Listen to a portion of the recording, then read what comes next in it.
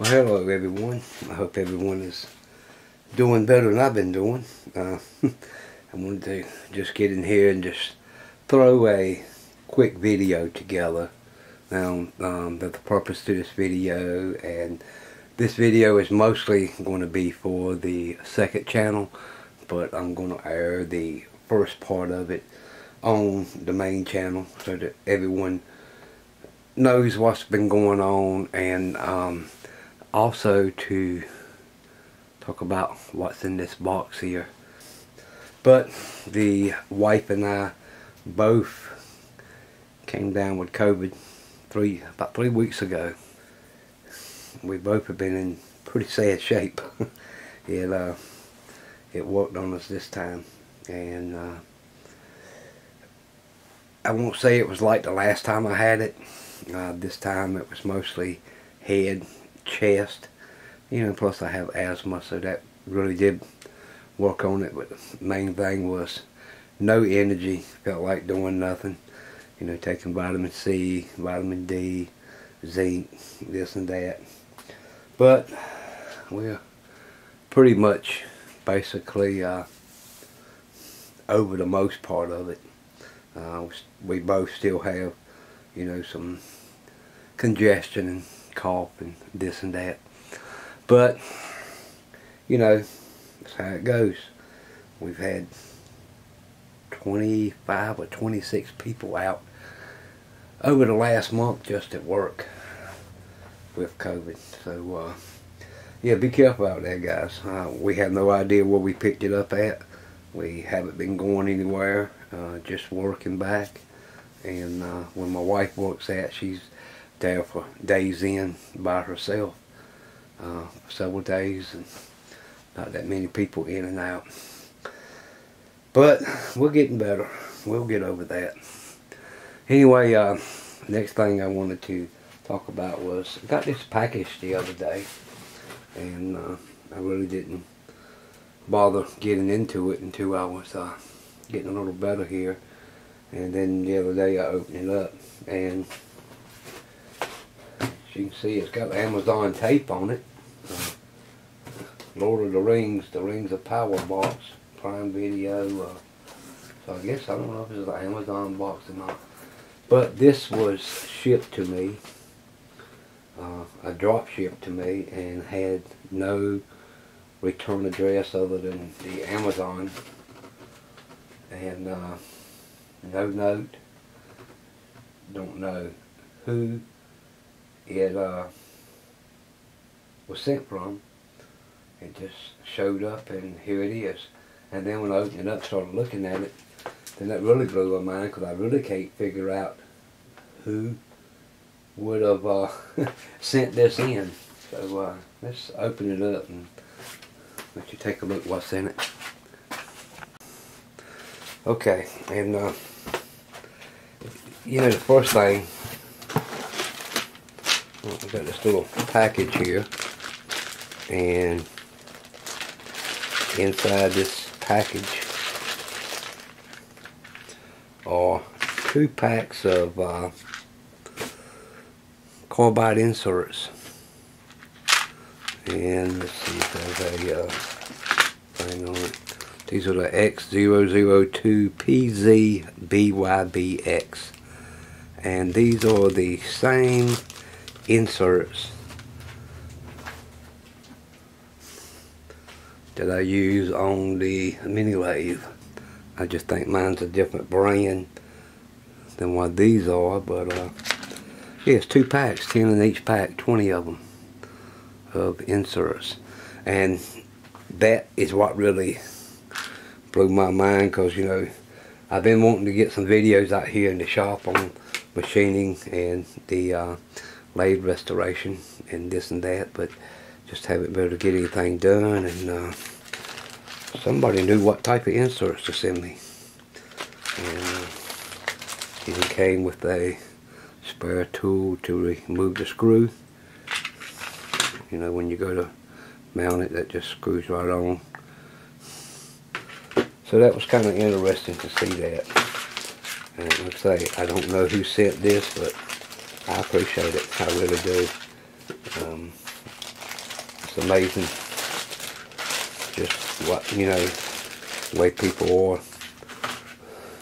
I had the kindness of the heart to send stuff in. Got another small box in here. Set this tool back up here. And there's two items in here. 400R50-22 and an R8 7 16 spindle.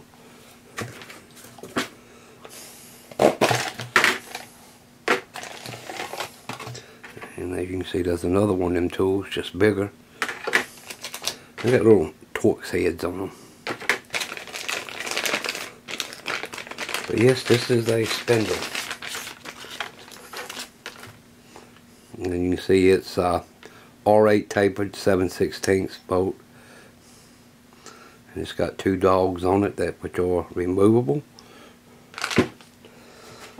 And then inside of the yellow container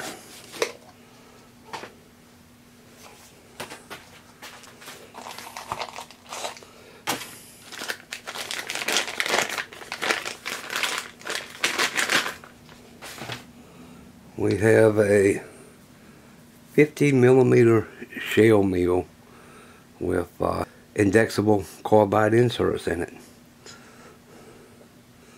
And this stuff is brand new. Screw this bolt out.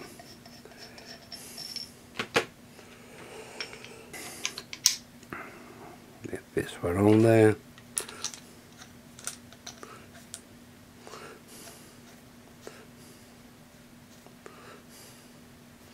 pick her up.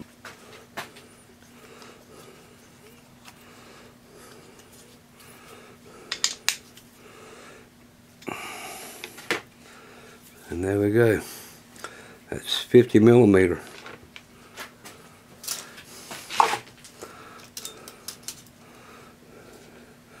Yep, dead on 50 millimeter.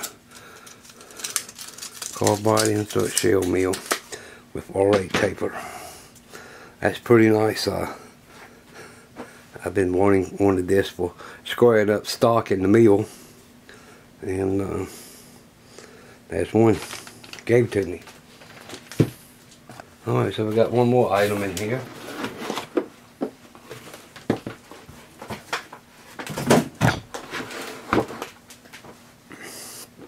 And this says R8-2 7 16 20 UNC.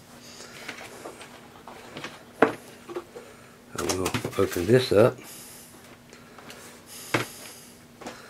And what you see here is a pack of Allen wrenches. And it is a boring bar with an R8 taper spindle. And you got two half inch holes, one in the center, one just offset, and you have the uh, hole that comes straight out the side. But what this is for is boring holes, if you're not familiar with this. Um, you know, you can take a half inch drill bit and drill a hole. It's not really half inch. Uh, if the drill bit's worn, it's going to be under. If the drill bit's new, you got any wobble or anything in it, it's going to be bigger than half inch and then you got different size boring bars there's nine boring bars here. So you can actually uh, put the boring bar in there set the angle the right way tighten it down. And as you're boring a hole you loosen these three screws and you turn this dial to uh, however much you want to take off at a time, like a thousandth or two thousandths or whatever. Tighten it back up and go back to boiling. And a lot of times when you use something like this, you need a uh, a DRO or some kind of way to center this over the already hole that you done drilled. But uh, there's ways around that too without having a DRO. In fact, I have a DRO coming ordered over a month ago and it's supposed to be here sometime next week. But this is uh, another uh, very needed tool here in the shop and that should work on the uh, little mill with no problems. And you know again the thing that really gets me is that uh, whoever sent this knew that I needed an R8 taper for the uh, the mill. Uh, these supposed to uh, this arbor supposed to unscrew from the head, and I'm pretty sure this one does also. But yeah, that's a very nice tool. And there's several different uh, boring bars, and you see this is brazed carbide on these boring bars. So they ought to last pretty good while. And they're all protected with some heat shrink plastic on them.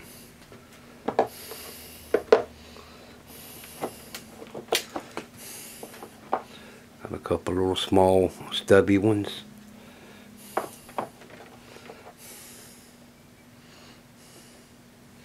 So very nice. Uh, these uh, work out real good on the milling machine.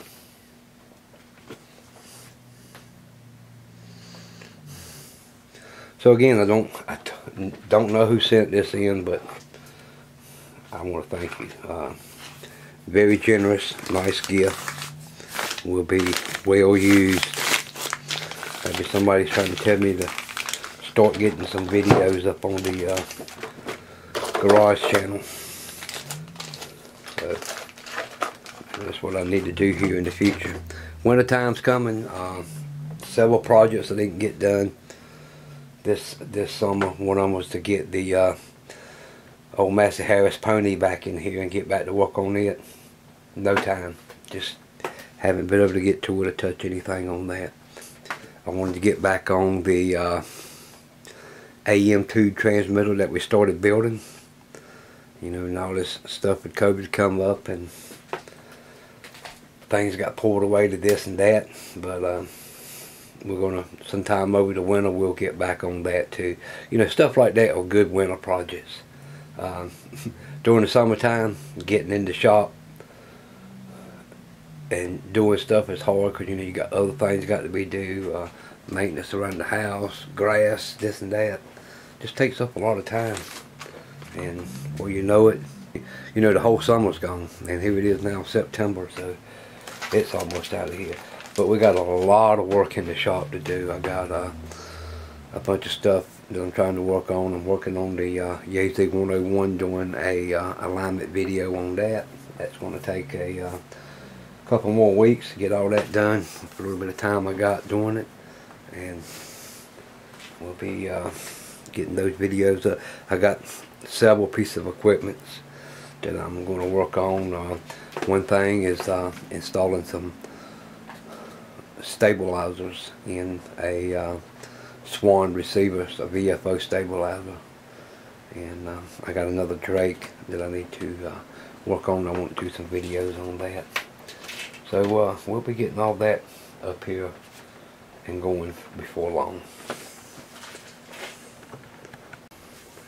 So uh, a couple of weeks ago I took the mini mill off the bench over there and build its own uh, bench for it to sit on.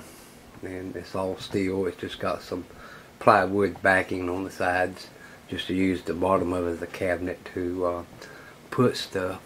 And uh, like I said I do have a DRO coming for it that I'm going to be installing to it. And uh, there's going to be several mods that I'm going to do to this mill you know, you can say what you want and call it Chinese junk or whatever, but I'm gonna be honest with you, like my little mini lathe, I love it. It works great. I finally did get the, you know, the big lathe to uh, take on some bigger stuff to do, but you know, I cannot complain. The mill, the lathe does what it exactly it's supposed to do, and it does a good job at it. And yes, I did a lot of modifications to it. Uh, the same thing with the little Harbor Freight Chinese milling machine. Uh, yes, they have problems, but there's a way to work around these problems. And uh, one of the things is up here in the top of it, where you got the motor into the spindle. And there's also a transmission that's got plastic gears inside. But one of the problems that I've had is breaking that gear inside. And this is exactly what I'm talking about here. As you can see, uh, these gears got broke completely into. There's several of them there. This one here, you can see the uh, teeth got stripped off of it. Now this is one that was 3D printed, that I 3D printed myself, and it worked okay. But you see what happened to Keyway sheared out on the inside of it. So if you don't put it through too hard of a metal, you know, it'll get by, but these 3D printed ones doesn't last as long. I even ordered one off of eBay that somebody supposed to had 3D printed with some better filament.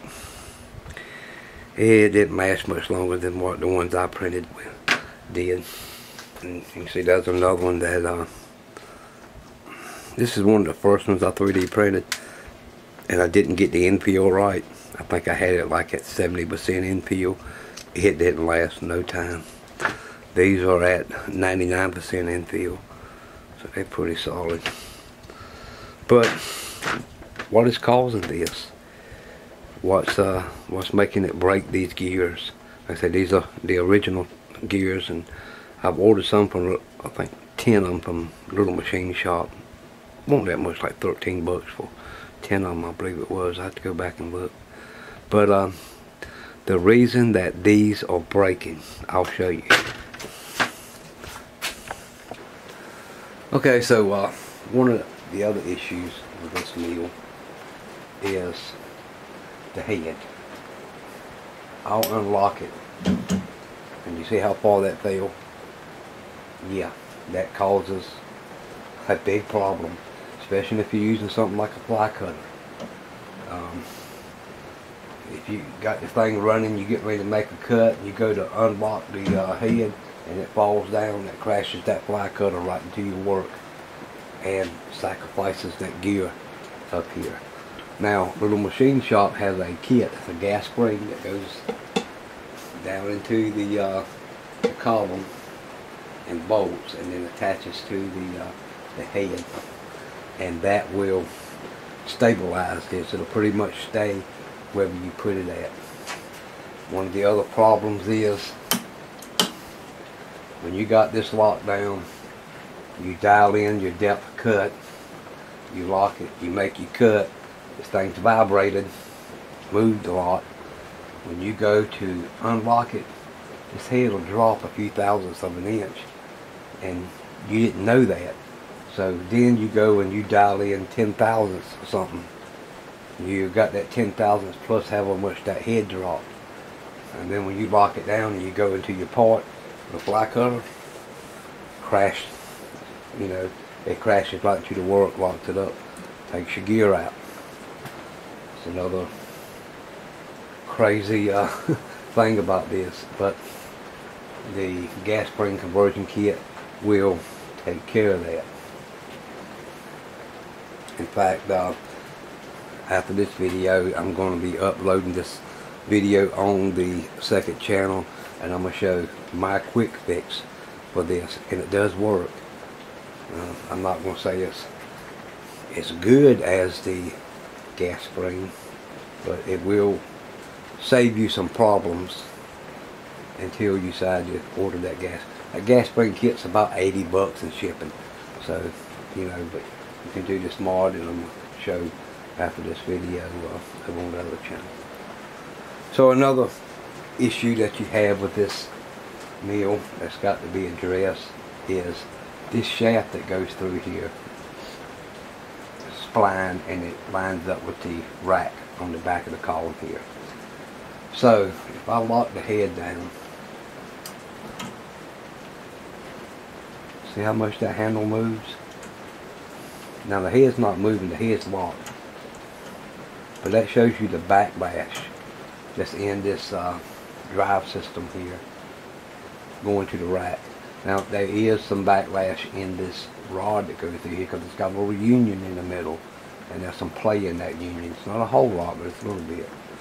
Now I put about I think 10 or 12 thousand shim behind the, the rack which brought it out into the uh, this other shaft and that took a lot of the that took half of it out so I need to uh, pull this rack back out and put another shim in it and see if that will take more of this out but again you know the problem is when you're doing this and uh, you loosen up the head you dial in your depth of cut you lock the head you run across it, it vibrates when you go and unlock it it's it drops a few thousandths of an inch and then when you dial in your depth of cut and lock it, crash the head.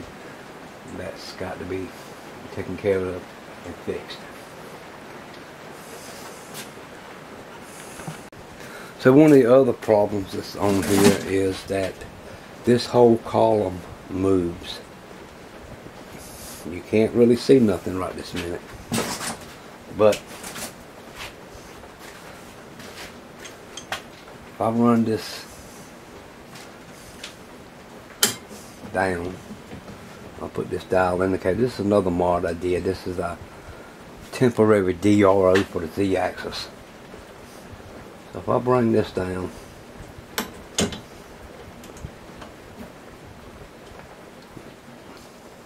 let's bring it up here at uh, zero. Okay, I got the camera on the uh, dial indicator. And now I'm to do, I'm to reach, I'm not going to grab the head, I'm going to reach back here to the column. And I'm going to pull. That's about three and a half thousandths. Also, if I take it and I push, that's about two thousandths. If I go to the side and push, about a thousandth and a half. Let me go to the other side.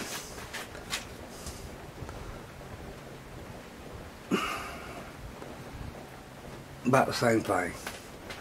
So, this is not a fixed column machine. It's got a big bolt that runs through it into this bracket here. And you see the back of the bolt and the nut sticking out here. So you can tilt this column left to right at about 45 degrees. And so the only thing that's holding this column is this big bolt and this big washer. Now, to take care of this, what I plan to do is get have a one inch plate cut. That's going to go between this mount and the bottom of the mill. And it's going to be about the size of this this uh, rack here it's like 15 inches but it's going to stick on out the back even further too and then I'm going to have some one inch plate cut that's going to come up the back here and then it's going to be triangles on the side and the triangles coming out the back and then weld all that together. Then the piece that goes at the back I'm going to bolt the column to it and that should really take a lot of that play in that column out. Now I won't be able to tilt it back and forth but I don't care about that. I don't need to tilt it. I need it to be vertical. And if I got something that I need to mill I can always put uh, use angle gauges or whatever to get my angle that I need to mill something. So that will uh, take care of uh, that that give in that column. Anyway guys, that's just some of the issues that the uh, little Harbor Freight mini mill has. Uh, you know, I've been saying I was going to get a review done on this, but just haven't been able to get to it. And uh, I just want to go ahead and get this video up and uh, let everybody know what's going on and this and that. But, I mean, for the money, uh, I use Bridgeport uh, about $2,500 is what I'm seeing. And then you got to drive several hundred miles and have it shipped, you know, truck back. so, uh, you know, I got lucky with the uh, big McKay blade. It was not that far away and I got it at a real good price. Had to do a lot of work to it. Uh, but, you know, one day I'll find a, a bigger milling machine if I get lucky. And that will replace this one. But to the time being, this one does just about everything I want to do. The only thing you got to remember when you got these little hobby grade mills is that you got to use good tooling. And if you want to be milling steel or stainless or whatever, don't spend money on this stuff. These uh, nitride coated end mills are okay for aluminum, uh, plastic. You can do some cast iron with it and some light steel. But uh, no, you got to, uh, I mean, I think this box of end mills like $70, 20 pieces. If you really want to do some good milling, we're looking at end mills that are 25 35 dollars a piece. And as long as you got good end mills like that it will do the job.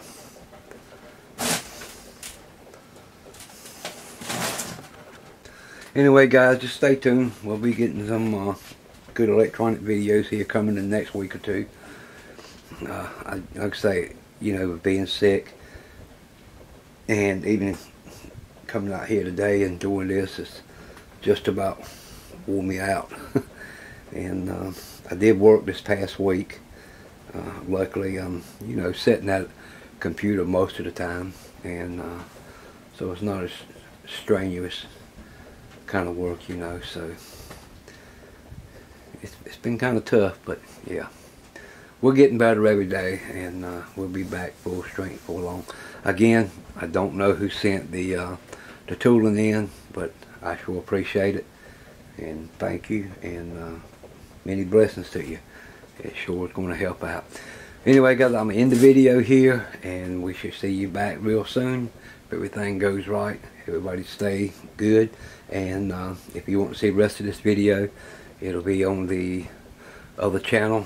Uh, links down below. And uh, we'll see you then. Bye now.